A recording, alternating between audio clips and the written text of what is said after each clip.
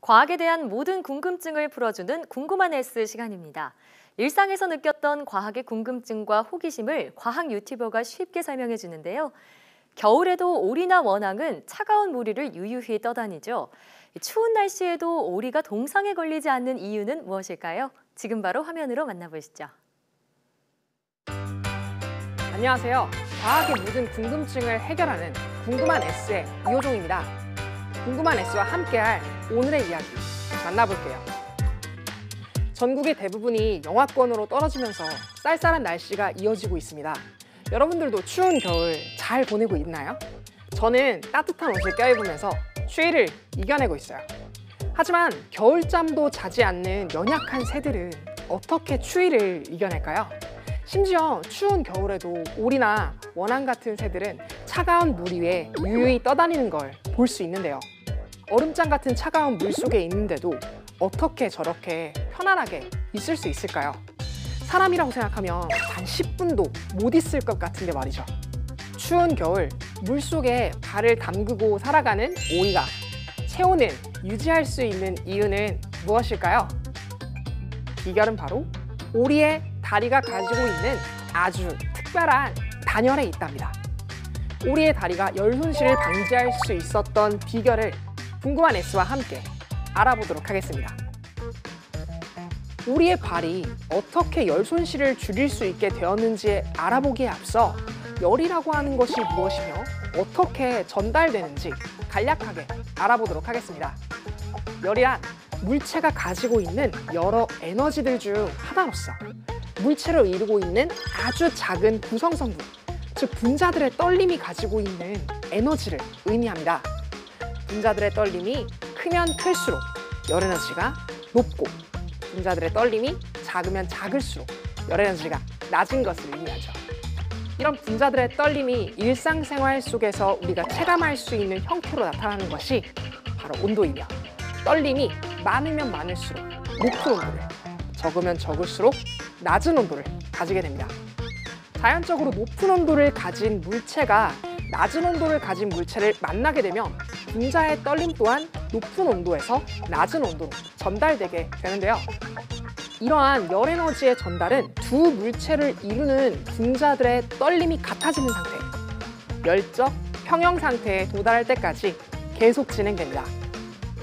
이처럼 물체와 물체가 접촉해서 접촉면을 따라서 서로의 열을 전달하고 주고받는 이러한 과정을 물리학에서는 열 전도라고 부릅니다.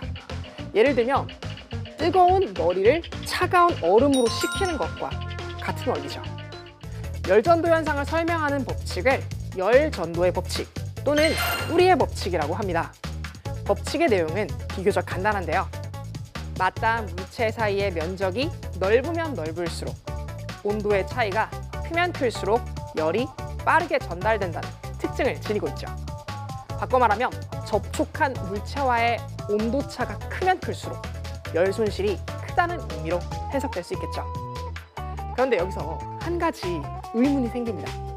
사람의 체온은 36.5도이고 오리의 체온은 약 40도 정도 되는데 그렇다면 오리가 물에 들어갔을 때 사람보다 훨씬 더 온도차가 크게 나서 더 빨리 열이 전달되어야 하는 것이 맞는 거 아닐까요?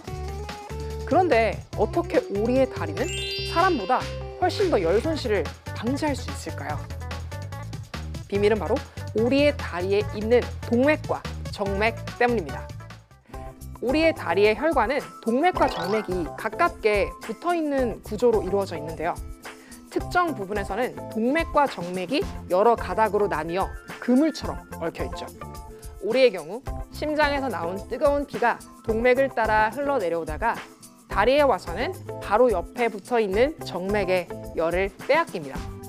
이렇게 온도가 내려간 피는 발에서부터 정맥을 따라 올라오면서 상대적으로 온도가 높은 동맥에 열을 얻어 심장으로 들어가게 되는 거죠.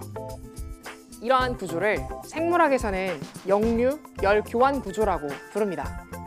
거슬러 올라가는 정맥혈이 동맥혈과 열 교환을 활발하게 할 수 있게끔 가깝게 밀착된 구조를 의미하죠. 반대로 다리 속 동맥과 정맥이 나란히 붙어 있지 않아 열 교환이 일어나지 않는다면 어떻게 될까요? 뜨거운 피가 식지 않고 다리를 지나 외부로 노출된 발까지 내려간다면 추운 겨울에 체온을 엄청나게 많이 빼앗기게 되겠죠. 또 그렇게 차가워진 피가 심장으로 바로 올라간다면 체온이 쉽게 떨어질 수밖에 없게 되는 것이죠. 더불어 오리의 다리 속 동맥에는 일종의 밸브가 있는데요. 이 밸브는 피의 흐름을 느리게 또는 빠르게 조절할 수도 있다고 합니다. 즉, 외부 환경에 따라 다리의 온도가 바뀐다는 이야기인데요. 듀크대의 논문에 따르면 영하의 날씨에도 오리의 다리와 발의 피부 조직이 얼지 않는 것은 체온이 0도씨 이상 유지될 수 있도록 피의 흐름이 증가하기 때문이고 실험을 통해 이를 관찰했다고 합니다. 이런 이유 이외에도 오리의 발에도 특이한 점이 하나 더 있는데요. 오리의 다리와 발은 딱딱한 조직으로 되어 있어서 더운 피가 상대적으로 덜 필요하다고 합니다. 발을 움직이는 근육 또한 다리의 위쪽에 몰려 있죠. 또한 추운 지방에 사는 조류일수록 다리 속 동맥, 정맥의 그물망이 더 정교해 열 교환을 잘할 수 있다고 합니다. 이외에도 발로 가는 혈류 조절과 피하 지방에서의 생리학적 방어 작용 등으로 추운 겨울에도 더 잘 견딜 수 있다고 하네요.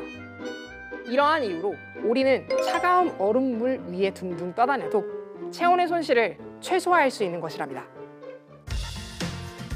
오늘 얼음물 위에서도 오리의 다리가 얼지 않는 이유에 대해 함께 알아봤는데요.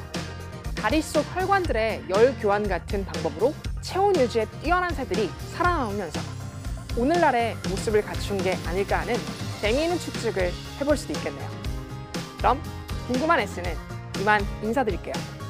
과학에 대한 궁금증이 있으시다면 언제든지 사이언스 투데이 페이스북에 댓글을 남겨주세요.